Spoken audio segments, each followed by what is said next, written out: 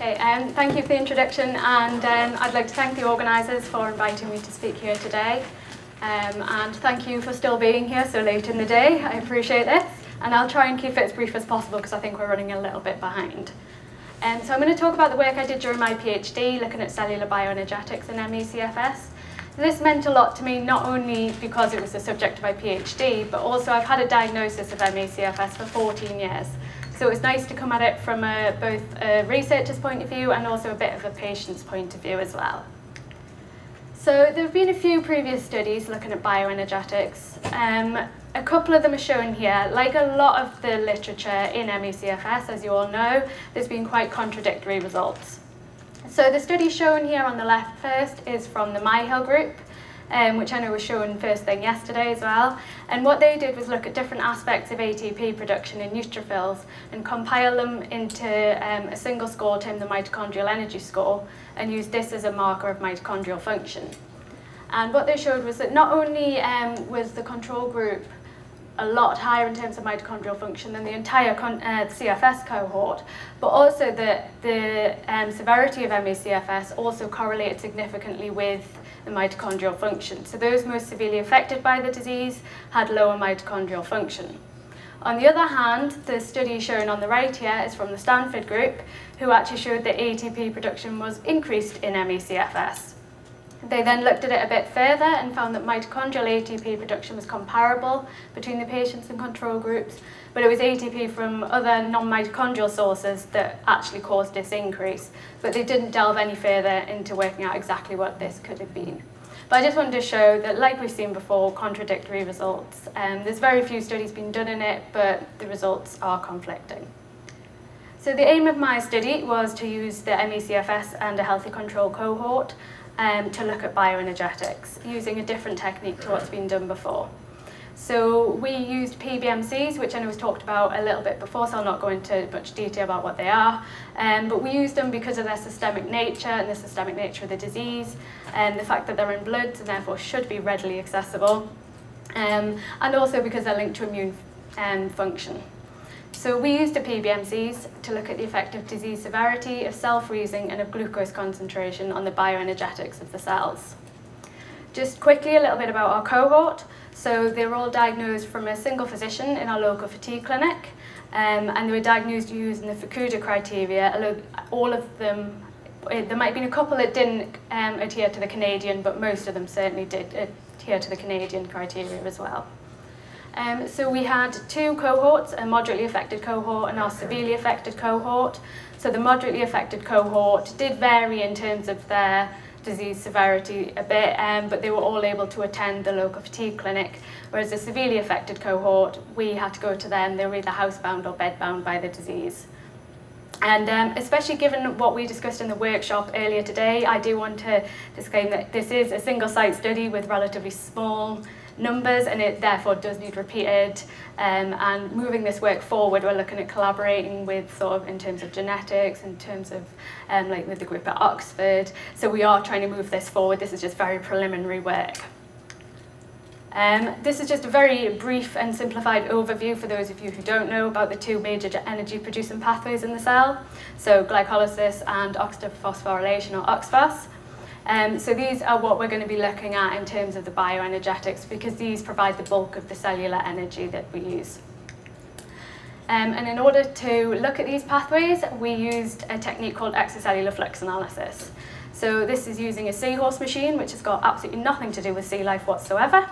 Um, but it works by lowering probes into wells containing the cells and measures either oxygen or protons in the extracellular medium and allows us to look at mitochondrial respiration and glycolysis.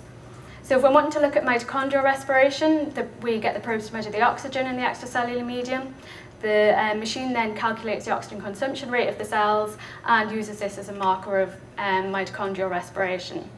Alternatively, if we want to look at glycolysis, the probes measure protons in the extracellular medium, the machine calculates the extracellular acidification rate, and this is used as an indicator of glycolytic function. So I'll just go into a tiny bit more detail about how we perform the assay um, for the mitochondrial um, studies and then show you some of the results. So this um, at the top is the sensor cartridge that's loaded into the machine prior to the plate containing the cells. And this allows us to inject um, different compounds throughout the assay um, in order to see how the mitochondria react to these compounds. So what we add when we're looking at mitochondrial function, um, well, we start by adding oligomycin, which inhibits complex 5 of the respiratory chain and allows us to calculate the amount of ATP-linked respiration. We then add FCCP, which uncouples the proton gradient across the inner mitochondrial membrane and allows the cells to maximally consume oxygen. And finally, we add a combination of rotenone and antimycin A. So these inhibit complexes 1 and 3 respectively and shut down the chain to inhibit mitochondrial respiration. And bearing all that in mind, what we get is the output shown here on the right with this characteristic mitochondrial stress test shape and the different parameters that can be calculated in the experiment. So we focused on three parameters that we deemed to be the most important. So these were basal respiration because this shows the ability of the cells to respire without the manipulation of any compounds. So this is more of a reflection on how they would be um, acting normally. Um, also the maximal respiration because this shows the maximal potential capacity of the cells to respire. And finally the reserve capacity which is calculated um, between, it's a difference between the basal and maximal respiration. And this shows the ability of the cells to increase their respiration rate when the cells demand it, such as when they come under stress. So the first experiments I'm going to show you are when we looked at disease severity. Um, so for this, we just wanted to compare our moderately and severely affected cohorts in terms of mitochondrial function. Um, and we hypothesized, based off the results from the Myhill data that showed the correlation in disease severity with mitochondrial function, we hypothesized that the, those most severely affected by the disease would have lower mitochondrial function. Um, and as you can see, this was not the case. We found no differences between the two cohorts um, in any of the parameters that we calculated using the mitochondria. I say, this did come as a bit of a surprise to us, um, but it shows that the disease severity didn't correlate with mitochondrial function in this cell type.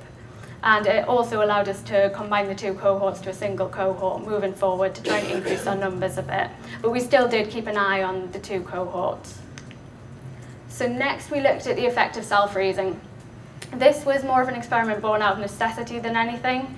Um, our blood sample collections were very sporadic and unreliable. We would sometimes go weeks or months between single sample collections. Um, so as opposed to running an assay for every sample we got in and the high costs associated with this and then the inter-plate variation we would have to deal with. We want to see if it was viable for us to use the frozen samples um, to, first of all, compare the cohorts, but also even just get viable readings off them. Um, and this was also helpful because it then meant, um, depending on the results, we knew whether we could use the frozen cells from the biobank as well for these types of experiments. So all the cells were isolated immediately after the blood was collected.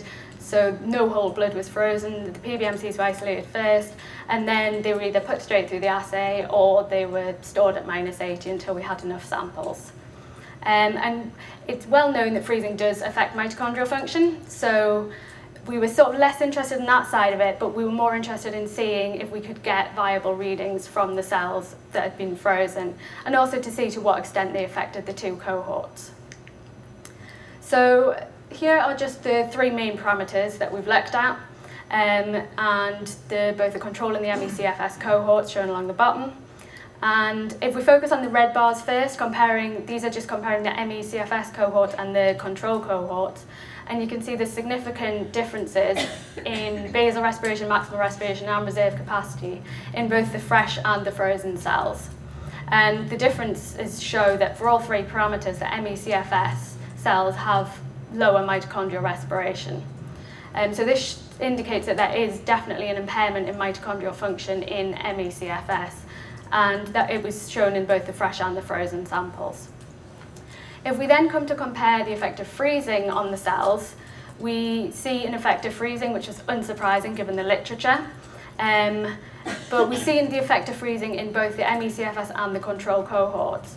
And when we looked at it, it showed that they were actually affected to the same extent. So for all the parameters, I haven't shown the other four parameters, um, because we didn't deem them quite as important. But the, for all the parameters that were affected in the control cohort by the freezing process, they were also affected in the CFS cohort. Um, so ultimately, this data showed us a few different things. So first of all, the ME-CFS do have an impairment in mitochondrial function. Um, that if we're wanting to compare absolute values of oxygen consumption rate, we need to be using fresh samples because freezing did impair oxygen consumption. However, if we're just wanting to compare cohorts, so in this instance, the ME-CFS and control cohort, then we can use either fresh or frozen cells as long as all of the cells are treated the same way. So this helped us a lot with our sporadic sample collection, which meant for our next set of experiments, we knew we could use frozen cells and viably compare the two cohorts. So the next experiment, we looked at the effect of glucose concentration. So we hypothesized that by incubating the cells in a lower extracellular glucose concentration, it would push the cells to utilize mitochondrial respiration to a greater extent because of the high yield of ATP per glucose molecule. Um, and we, well, I say hypothesized, hoped more than hypothesized that this may um, increase the CFS mitochondrial function to become more comparable to that of the controls. And like I said, we use frozen cells because that's sort of what we had. So again, this is in the same format as before. So if we focus first on the red lines, which again compare the ME-CFS and the control cohorts, um, we see what we saw before, a difference in all three parameters and in both conditions. So the ME-CFS mitochondrial impairment was again shown in both the low glucose and the high glucose um, conditions, which further sort of validates the results from before, showing that there is a mitochondrial impairment going on. Um, but then if we come to look at the effect of glucose concentration, the only time we actually saw an effect in these three parameters was in the maximal respiration here and even that was only in the control cohort. So we're not completely sure why this is. Um, we think it may be that the CFS cells were already performing at their maximum under the high glucose conditions, so it didn't matter what glucose conditions they were put in, they were already right up there at the maximum they could do. Um, or also it could be the ME-CFS cohort were um, less able to adapt to the low glucose environment. Um, so we sort of need to look at different incubation lengths in terms of how long we're giving them to try and adapt to that glucose environment. Or it could be to do with glucose transport, or there's a lot of different things we need to go on to look at to see exactly why this is only affecting the control cohort. Um, I'm just going to quickly go through when we looked at glycolysis. Um, so the principle for this is the same as for the mitochondria in that we see really inject compounds, but the compounds differ. Um, so we start by adding glucose because cells need glucose to progress through glycolysis. We then add oligomycin, which inhibits the mitochondrial respiration and forces the cells to use glycolysis as an energy source. And finally, we add 2-deoxyglucose because this uh, it competes with glucose to bind hexokinase and therefore stops the progression of glucose through the glycolysis pathway. So for this, we measure the extracellular acidification rate, so we're measuring the protons in the extracellular medium, and the different parameters um, that can be calculated from this are shown. So the aims of this were again to compare the moderately and severely affected cohort and then compare the ME-CFS cohort as a whole to the healthy controls. So we hypothesized um, that the ME-CFS cohort would have a higher level of glycolytic function in order to compensate for the lack of energy being produced by the mitochondria. Um, but we hypothesized there would be no difference in terms of disease severity because the lack of difference we saw before in the mitochondrial function. So we'll do disease severity first, and these are the four parameters we calculate in glycolysis. And as you can see, there's no difference, there's no statistical differences between them in any four parameters, but this didn't come as a huge surprise given that there was no difference in terms of mitochondrial function. But then when we came to look at, um, to compare the ME-CFS and healthy control cohort, we were surprised to find no difference here. So like I said, we hypothesized that this, the ME-CFS cohort would be using glycolysis to compensate for the lack of mitochondrial function, but that wasn't shown to be the case at all. So this suggests um, there might be an overall sort of hypermetabolic state going on because they're not compensating for the lack of mitochondrial function in any meaningful way. And this was the data we published um, at the end of last year. But this isn't the end of what we've shown. So I'm going to ask for the camera to be shut off now. Um, because